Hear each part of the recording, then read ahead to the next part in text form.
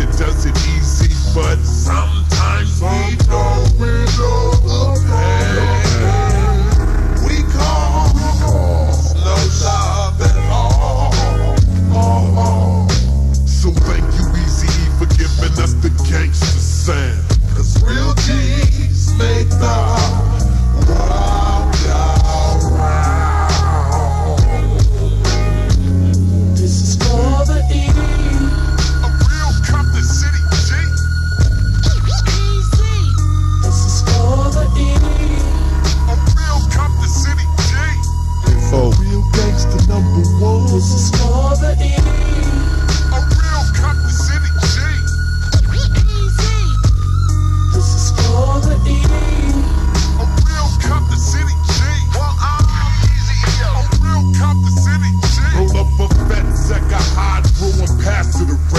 hypnotized to the West Coast gangster sound. Now I heard it was a gang of movement to make Eazy.